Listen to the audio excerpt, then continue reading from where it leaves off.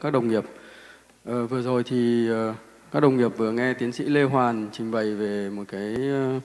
hướng nghiên cứu rất là mới trong cái vấn đề tầm soát về ung thư phổi. Thế tất cả chúng ta đều biết là cái tiên lượng của điều trị ung thư phổi nó phụ thuộc rất nhiều vào cái vấn đề chẩn đoán sớm cũng như là cái chiến lược mà điều trị uh, thì nó phụ thuộc rất nhiều vào cái vấn đề là mình chẩn đoán giai đoạn của ung thư phổi làm sao cho nó đúng để mà mình đưa ra cái chiến lược điều trị thích hợp. Thế thì ờ,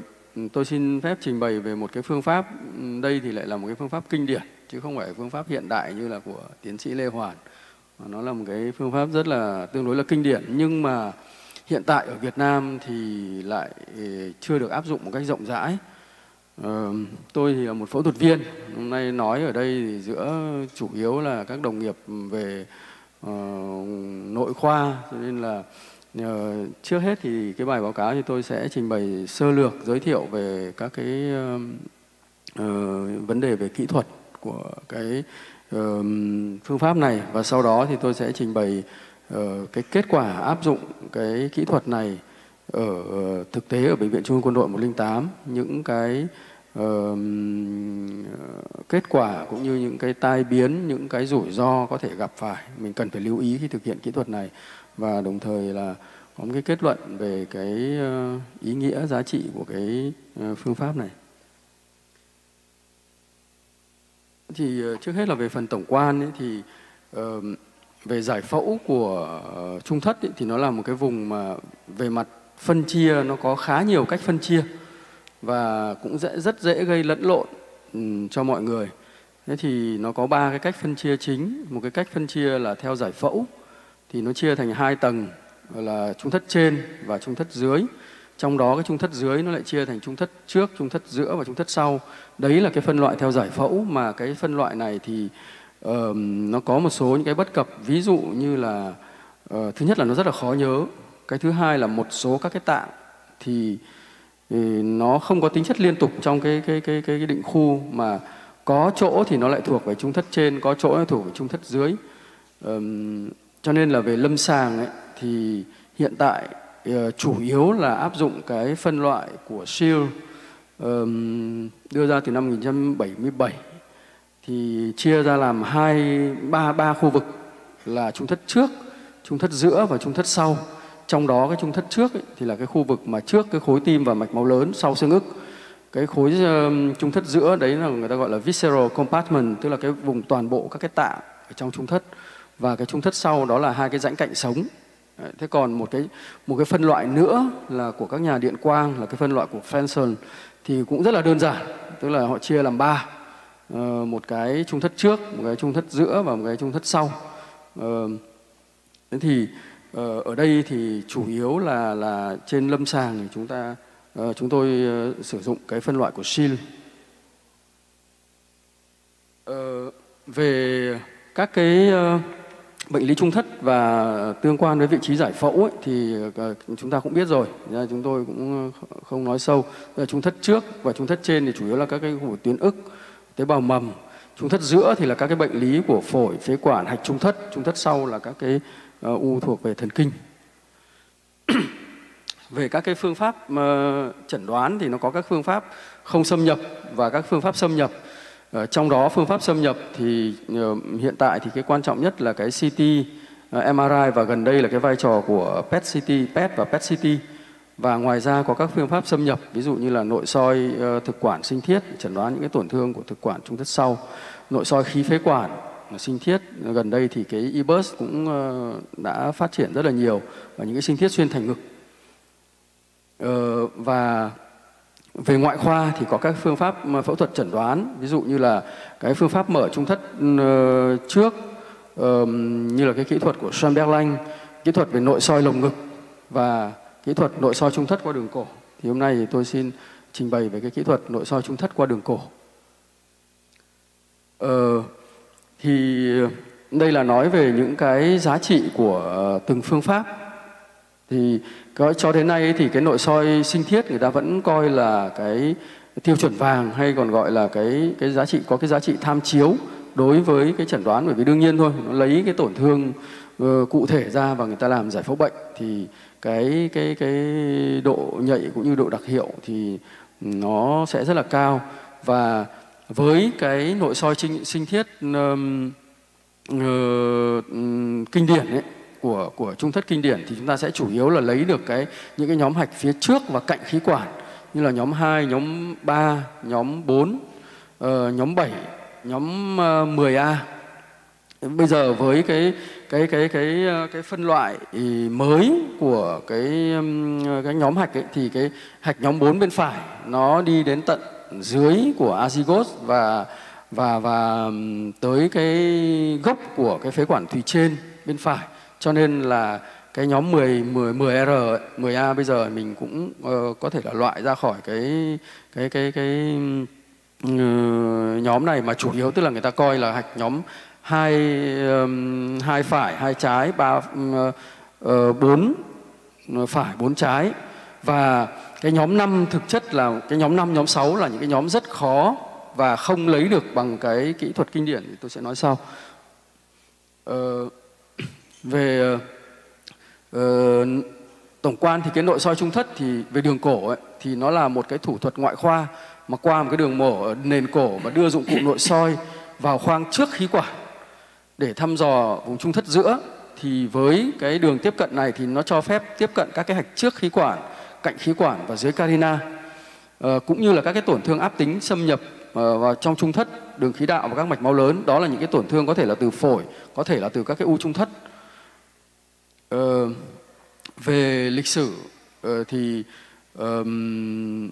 chúng ta chỉ cần nhớ cái mốc quan trọng nhất là năm 1959 ờ, là, là Lenz là một phẫu thuật viên người Thụy Điển đã ờ, phát triển cái kỹ thuật nội soi trung thất và ông ấy nghĩ ra cái ông hoàn thiện cái dụng cụ nó gọi là cái mediastinoscope được các lens thì và cái cái dụng cụ này cho đến bây giờ vẫn được sử dụng cách rộng rãi. Cùng với um, Pearson là một cái phẫu thuật viên người Canada thì đã hoàn thiện cái kỹ thuật này. Và cái kỹ thuật này như tôi vừa nói thì nó chủ yếu là thăm dò được những cái ờ, hạch ở trước khí quản còn những cái hạch mà ở cửa sổ trụ cửa sổ chủ phổi hoặc là cửa ờ, những cái hạch mà cạnh động mạch chủ là hạch nhóm 5 và hạch nhóm 6 thì phải đợi đến uh, Chamberlain và Magnell năm 1966 thì họ cải tiến kỹ thuật là một là họ đi vào cái đường là prevascular hoặc là cái đường mà giữa cái tĩnh mạch vô danh và động mạch cảnh gốc bên trái để mà đi vào cái khoang đó cũng như là mở trung thất trước qua khe Legion 2 thì mới có thể lấy được cái hạch nhóm 5 và nhóm 6. Ờ, đây là cái sơ đồ của cái kỹ thuật mà nội soi trung thất đường cổ thường quy tức là sau khi mà chúng ta rạch cái ờ, đường mở ngang cổ khoảng độ 4 cm ở cái nếp lằn cổ dưới ấy, đi qua cái uh, cái cái cái cái đường giữa thì chúng ta cái mốc quan trọng nhất ấy, đấy là cái cân trước khí quản. Đấy, thì chúng ta mở cái cân trước khí quản và dùng ngón tay chúng ta phẫu tích.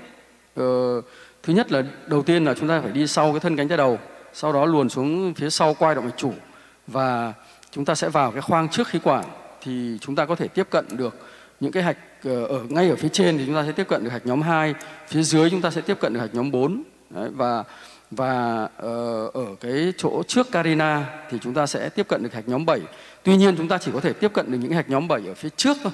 Chứ còn những cái hạch mà ở phía hẳn phía dưới và phía sau thì đây cũng là cái hạn chế của của cái đường này.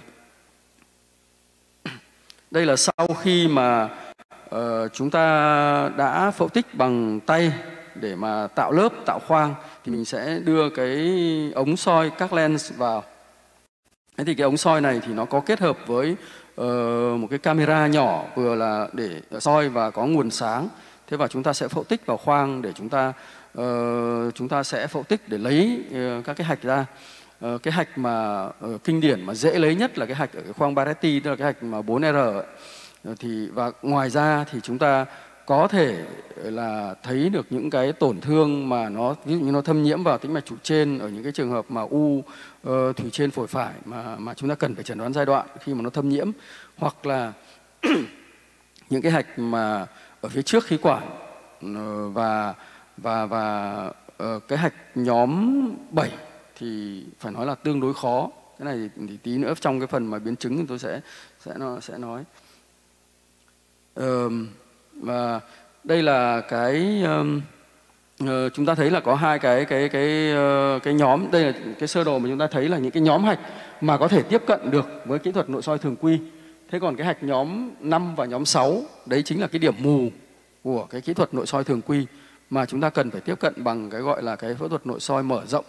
là extended ờ, mediastinoscopy. Thì đây là tôi nói đến cái cái cái kỹ thuật mà nội soi trung thất mở rộng có nghĩa là cái đường đi của chúng ta ấy, nó gọi là cái đường đi prevascular. Thì mình phải đi trước cái nếu mà mình muốn thăm dò cái các cái khối u ở trung thất trước ví dụ như là là chẩn đoán về cái um, cái u của tuyến ức chẳng hạn thì chúng ta không thể đi theo đường kinh điển được mà chúng ta phải đi theo cái con đường phía trước của cái thân tĩnh mạch vô danh và chúng ta bám vào cái cái mặt sau của xương ức để chúng ta đi vào. Đấy, thì cái đường này thì nó nó phức tạp hơn cái khoang này nó tương đối nhỏ hơn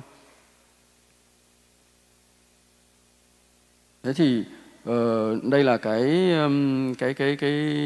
kỹ thuật này khi mà ờ, để mà chúng ta có thể cho phép um, sinh thiết được cái hạch nhóm 5 và nhóm 6 Đấy. đây là những cái dụng cụ mà chúng tôi sử dụng cũng như là cái uh, tư thế bệnh nhân và cái đường mổ mà Ờ, chúng tôi sử dụng ở trong cái phẫu thuật nội soi trung thất ở bệnh viện Trung ương Quân đội 108. Thì các cái chỉ định ờ, chính của cái ờ, nội soi trung thất ấy, thì đó là cái chẩn đoán giai đoạn của ung thư phổi trước mổ là đánh giá di căn hạch xác định khả năng xâm lấn trực tiếp của khối u và các thành phần trung thất Ờ, thứ hai là chẩn đoán một cái số bệnh hạch nguyên phát mà chúng ta không không thể thể có cái bằng chứng về tế bào cũng như là tổ chức học bằng những cái phương pháp khác và cái thứ ba là sinh thiết một cái số khối u trung thất nhất là trong cái hội chứng tĩnh mạch chủ trên. Uh, xác định một số cái khối u ở trong trung thất ví dụ như là um, cái uh, xác định bản chất của những khối u như là u tuyến uh, ức hoặc là cái xác định tuyến cận giáp lạc chỗ vân vân. Về chống chỉ định thì có những cái chống chỉ định uh, về giải phẫu tuyệt đối. Ví dụ như cái trường hợp mà biếu cổ khổng lồ thì là nó cản trở cái đường mình mình tiếp cận vào cái đường giữa để mà có thể tiếp cận vào cái khoang trước ừ, trước khí quản. Thứ hai là những cái tổn thương phình hoặc là vôi hóa nặng ừ, ờ, cái động mạch chủ hoặc là thân cánh tay đầu. Vì là cái cái đường vào của chúng ta là chúng ta phẫu tích qua khu vực đó, mình mình động chạm vào cái khu vực đấy nó rất là mạnh. Nếu mà nó có phình động mạch chủ thì đương nhiên là không vào được. Những cái trường hợp mà Ờ, vôi hóa nặng sơ hóa nặng ờ, sơ vữa thì chúng ta khi chúng ta can thiệp có thể gây những cái bong ra gây những cái cái ờ, huyết khối. Và những cái tổn thương ví dụ như mở khí quản vĩnh viễn và hoặc là những bệnh nhân đã xạ trị vùng cổ. Thế còn ngoài ra thì có một số những cái yếu tố nguy cơ nó không hẳn là chống chỉ định nhưng uh, nó là những cái yếu tố mà chúng ta phải hết sức cân nhắc để mà uh, đưa ra quyết định có làm hay không hoặc là trong quá trình làm chúng ta phải Ờ, rất là thận trọng. Ví dụ là những cái trường hợp mà hẹp động mạch cảnh Đấy, có cái tiếng thổi của động mạch cảnh thế thì khi chúng ta làm chúng ta uh, can thiệp ừ, chúng ta đưa cái cái cái cái ống soi vào nó có thể gây chèn ép vào cái uh, cái động mạch cảnh nó có thể gây thiếu máu. Nếu như là là chúng ta không không tiên lượng trước được cái chuyện này có thể sau mổ nó có thể gây có những cái biến chứng về thần kinh. Uh, hoặc là những cái trường hợp mà đã bệnh nhân đã bị mổ xương ức bổ xương ức Ờ, ví dụ cho, cho mổ tim hoặc là bệnh nhân đã từng có mổ cái khối u trung thất mà qua đường bổ xương ức thì cái này là cũng cũng là một cái rất là khó khăn ờ, mặc dù là cái khoang trước khí quản nó có thể là cái cái cái cái cái cân trước khí quản nó vẫn còn nguyên nhưng cái đường vào thì là nó sẽ khó khăn hơn Đấy. hoặc là những cái trường hợp mà đã được ừ, nội soi trung thất rồi Đấy, mà Ờ, bây giờ chúng ta phải làm lại. Thì đấy là những trường hợp rất khó bởi vì là những cái cân trước khí quản nó đã đã bị bị mở ra rồi. Cái vùng đó là nó nó ấy nó đã tổn thương rồi. Thế thì những cái trường hợp đấy thì mình cái cái phẫu tích ừ, blunt dissection bằng ngón tay ấy, thì nó sẽ không không không không hiệu quả nữa mà chúng ta cần phải dùng cái phẫu tích bằng kéo. Những trường hợp đấy thì rất là phải rất là cẩn thận.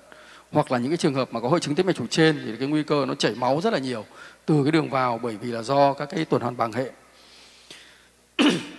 sau đây thì tôi xin trình bày cái kết quả áp dụng cái nội soi trung thất tại Bệnh viện Trung ương Quân đội 108 thì từ ờ, tháng 5 năm 2018 cho đến tháng 5 năm 2020 chúng tôi tiến hành ờ, bốn ừ,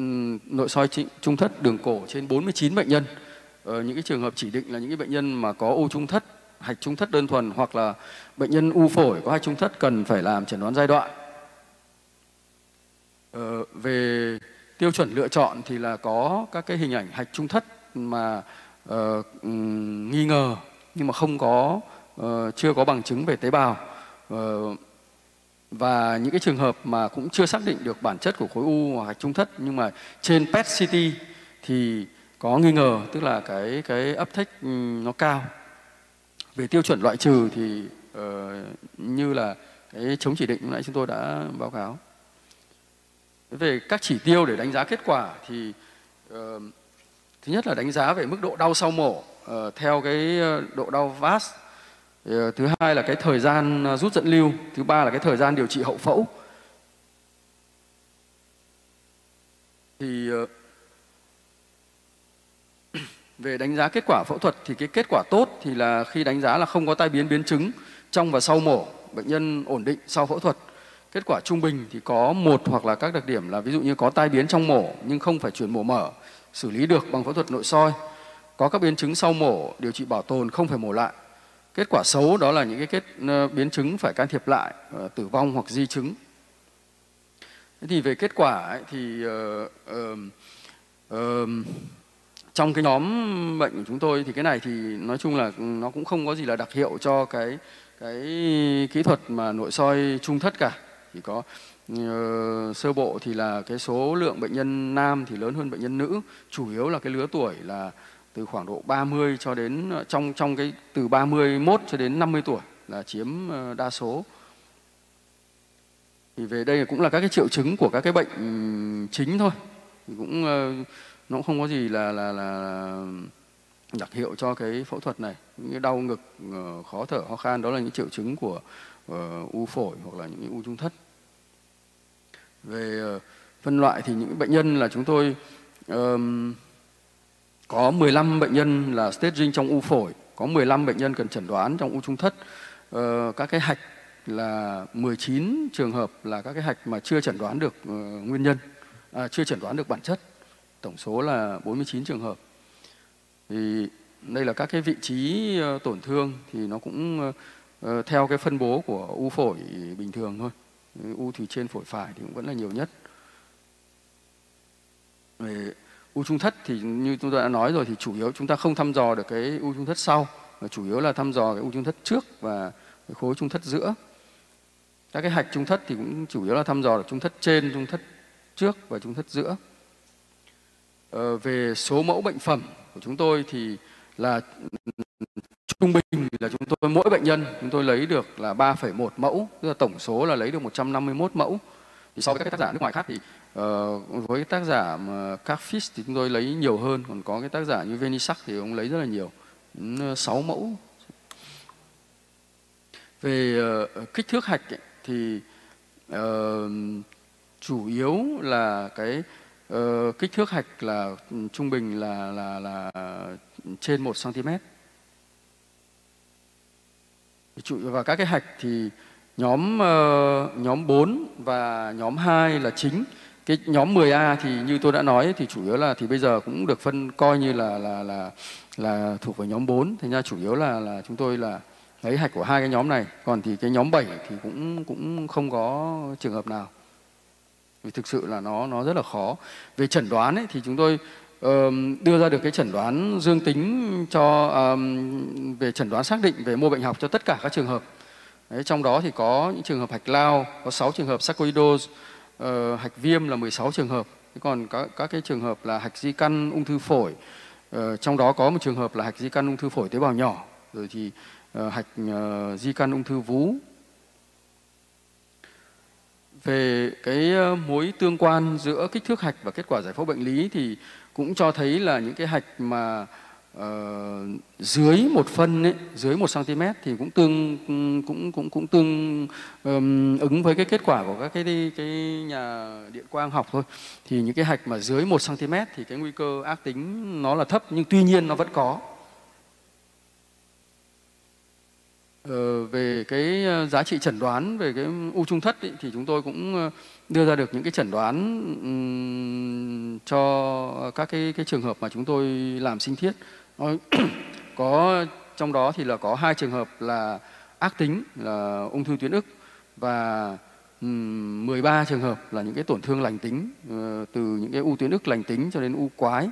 ba ba trường hợp u quái và có hai trường hợp là cái biếu giáp nó lạc trong trung thất có nghĩa rằng là cái cái giá trị, tôi muốn nói rằng là cái giá trị chẩn đoán dương tính của cái biện pháp này là là nó rất là cao.